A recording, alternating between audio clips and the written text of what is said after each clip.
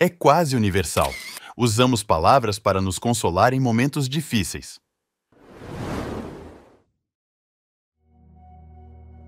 Do caminho da bênção, uma oração usada pelos navajos do deserto do sudoeste, o povo de Né, em sua própria língua, para honrar a ordem natural em tempos de caos, até a bênção sacerdotal do Antigo Testamento, descoberta em dois pequenos pergaminhos de prata que remonta a quase 3 mil anos, a história mundial está repleta de exemplos de palavras que nos aliviaram, confortaram e protegeram individual e coletivamente, formal e informalmente, em voz alta e silenciosa e ao longo dos tempos.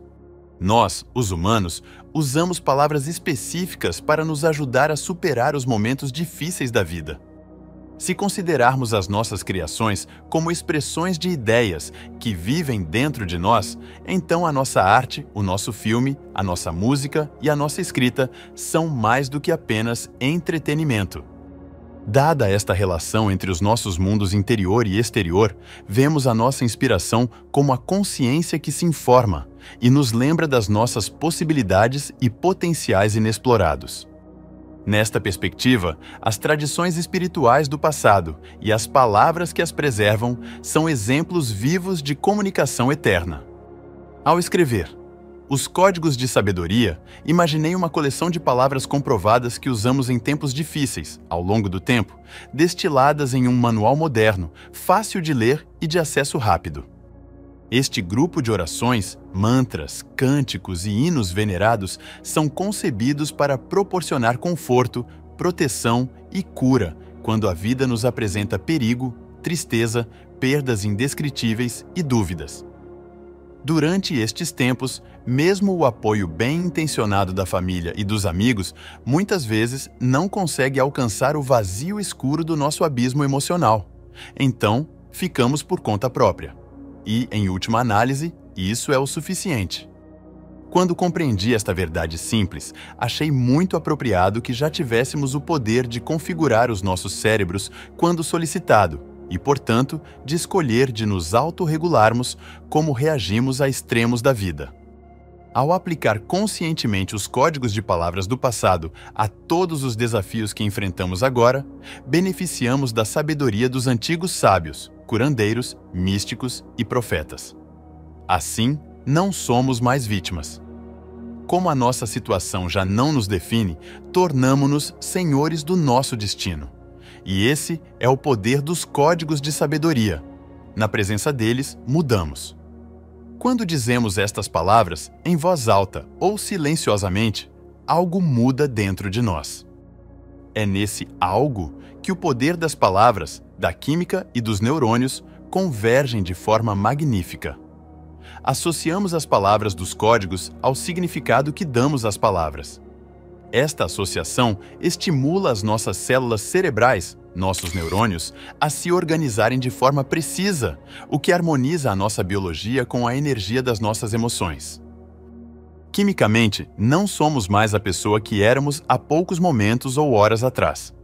E essa diferença abre portas para novas formas de pensar, sentir e agir diante das nossas perdas, dos nossos medos e das nossas traições. E mesmo que nossas mudanças sejam sutis e passem despercebidas pelas pessoas próximas a nós, elas nos dão sabedoria, confiança e poder para despertar um poder mais profundo dentro de nós.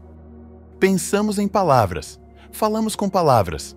No silêncio das nossas mentes, ouvimos as palavras ou mensagens dos nossos pensamentos subconscientes que se repetem a uma velocidade vertiginosa de 60 mil a 80 mil vezes por dia, segundo estimativas científicas. Novas evidências sugerem que o poder das nossas palavras vai muito além do que as estatísticas revelaram no passado.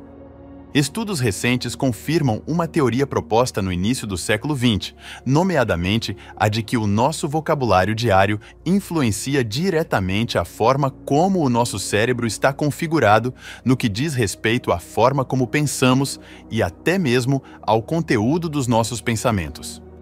A descoberta da relação entre as palavras e o cérebro não surge de uma busca bem coordenada em um laboratório de última geração com o objetivo de encontrar uma ligação que pareça mística. Pelo contrário, é o resultado de uma constatação inesperada que surgiu de uma tarefa imprevista de um professor em 1937 e 1938.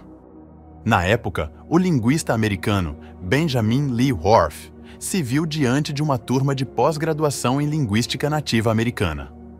Substituindo um colega que estava tirando um período sabático, Horth reconheceu uma nuance anteriormente negligenciada na linguagem do hop norte-americano.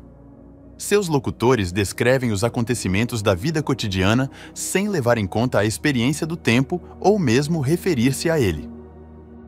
Em outras palavras, a língua Hop utiliza palavras que descrevem o momento presente e o que está acontecendo no momento sem nunca descrever diretamente o passado ou o futuro. Este uso da linguagem, anunciando um novo paradigma, levou Worf a descobrir que as nossas palavras influenciam as nossas conexões neuronais. E isso abalou as convicções científicas do seu tempo.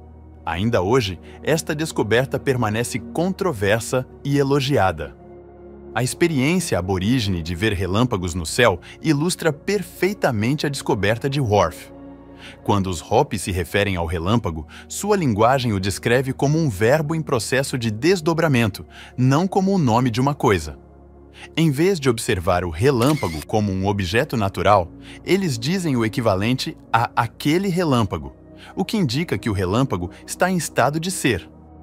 Da mesma forma, em relação ao oceano, em vez de dizer que esta onda é a onda ou uma onda, os Hopi colocam-na num sistema todo inclusivo que é presente, vivo e imediato. O seu pensamento reflete-se na linguagem que descreve a experiência, e dizem que a onda está oscilante, tal como o relâmpago está a atingir. Segundo Horth, as estruturas verbais são responsáveis pela maneira harmoniosa como os Hopi se descrevem, estruturam suas vidas e imaginam sua relação com o cosmos. Quando pensam em toda a criação, por exemplo, veem um universo vivo de conexões, emergindo há muito tempo de um primeiro estado de harmonia. Dentro deste sistema integrado, os Hopi preveem a cooperação entre os humanos dentro da natureza como expressão diária de uma harmonia universal que se estende a todo o cosmos. Este espírito positivo contrasta fortemente com a visão científica tradicional que descreve o universo como um sistema morto, nascido de uma série de eventos cósmicos distantes, aleatórios e incrivelmente favoráveis. Nesta perspectiva baseada na biologia fortuita, a ciência dominante atribui a nossa origem e a continuidade da nossa existência ao triunfo da competição e ao que Charles Darwin, o naturalista do século XIX, chamou de lei do mais forte, uma premissa simplesmente falsa, de acordo com os atuais conhecimentos científicos do século XXI, novas descobertas na biologia e em outras ciências da vida revelam agora que a regra fundamental da natureza é a cooperação e não a competição. Esta relação entre palavras e vida tem implicações profundas a nossa linguagem, as palavras que escolhemos para nos descrever e partilhar os nossos pensamentos, sentimentos, emoções e crenças, parece formar na realidade o quadro de unidade ou separação que experimentamos quando consideramos e resolvemos problemas da vida cotidiana. Estas ligações comprovadas entre a fala e o cérebro abriram a porta para uma questão ainda mais profunda.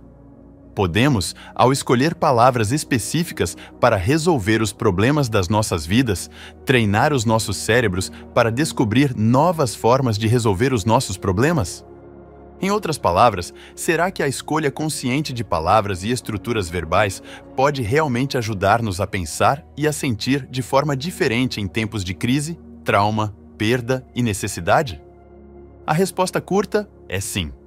Os nossos antepassados tinham precisamente esta convicção.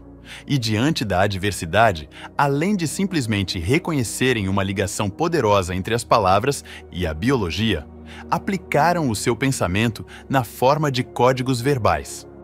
Em seu recente livro, A Chave para a Comunicação, Descubra o Poder da Empatia, o Dr. Andrew Newberg e seu coautor Mark Waldman confirmam as ideias de Horth e explicam precisamente a conexão entre a palavra e o cérebro. Eles descrevem essa relação da seguinte forma: Basta uma palavra para influenciar a expressão dos genes que regulam o estresse físico e emocional. Além disso, Newberg e Waldman revelam uma relação entre as nossas palavras e os nossos corpos que vai além do nível dos nossos genes, a ponto de impactar a nossa percepção da própria realidade. O fenômeno começa no tálamo, uma pequena glândula localizada perto do centro do cérebro que transmite informações sensoriais para regiões cerebrais que interpretam os sinais e depois agem sobre eles para formar nossas percepções do mundo. Os autores escrevem: Com o tempo, a estrutura do seu tálamo também mudará, em resposta às suas palavras, pensamentos e sentimentos conscientes, e acreditamos que essas mudanças talâmicas podem ter um efeito na sua percepção da realidade. As descobertas que relatam somaram-se ao crescente conjunto de evidências do poder das palavras e de formas úteis de usá-las em momentos de dificuldade. As descobertas de Worf no século XX e as recentes revelações científicas na neurociência e na biologia confirmam esta interpretação. Elas nos guiam para a mesma relação. As nossas palavras influenciam a química do nosso corpo, os neurônios do nosso cérebro e a forma como os nossos neurônios se organizam e disparam para determinar como nos vemos e resolvemos os nossos problemas e sobre o que somos capazes de pensar. Essas reflexões dão um novo significado a todos os cânticos, hinos, orações e mantras utilizados nas tradições do passado. Durante milhares de anos, palavras precisas e expressões rituais circularam de pai para filho, de mãe para filha, entre xamãs e entre curandeiros. Desde a época dos primeiros registros escritos, essas mensagens foram preservadas para as gerações futuras em escrituras sagradas e glifos misteriosos que resistiram ao tempo. Hoje, encontramos o legado dos esforços dos nossos antepassados em alguns dos lugares mais remotos, isolados e secretos da Terra. Mosteiros, templos e tumbas que ficam de guarda, repositórios silenciosos de uma sabedoria eterna. Também encontramos esta herança verbal registrada nos documentos sagrados das mais veneradas tradições espirituais. Se os nossos antepassados preservaram os seus segredos, foi para as pessoas do seu tempo, mas também para aqueles que eles imaginavam que viveriam no futuro, ou seja, para nós. Tinham a impressão de que as gerações futuras necessitariam das mesmas âncoras emocionais e da mesma força psicológica nas lutas bélicas, nos extremos climáticos e no caos social do seu tempo, dos quais suspeitavam o regresso. No antigo Veda em sânscrito, que apareceu há mais de 7 mil anos no Mahabharata, nos ensinamentos do Buda, nos textos perdidos a partir da Bíblia judaico-cristã e nos mistérios sagrados das tradições indígenas, o poder dos códigos de sabedoria está disponível para nós hoje, se compreendermos o que estes códigos significam e como aplicá-los à nossa situação. Por mais numerosas e variadas que as provações da vida possam parecer à primeira vista, um olhar mais atento às dificuldades que enfrentamos revela uma relação sutil entre nossa experiência e nossas percepções. A relação é a seguinte: questões que muitas vezes nos parecem separadas são, na verdade, expressões diferentes da mesma questão subjacente. Muitas vezes, por exemplo, pensamos na raiva, no ciúme e na rigidez como dificuldades separadas a serem enfrentadas uma por uma, mas cada uma aponta, em última análise, para o mesmo problema fundamental: um medo não resolvido. Ao curar ou resolver o nosso medo subjacente, eliminamos a necessidade de segurança e as razões pelas quais várias expressões do mesmo medo podem apresentar-se nas nossas vidas nossos ancestrais compreenderam essas relações. Eles também compreenderam o poder do efeito cascata nos relacionamentos, a cura de muitas emoções através da resolução de um único medo fundamental. E eles compartilharam suas descobertas na forma de profunda sabedoria codificada em palavras sagradas que sobreviveram ao teste do tempo.